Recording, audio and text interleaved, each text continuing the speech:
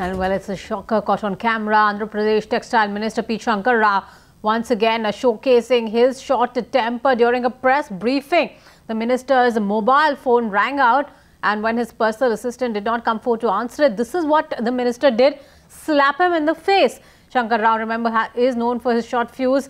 He had uh, in February itself publicly abused a policeman and now the slap caught on camera by this short-tempered minister.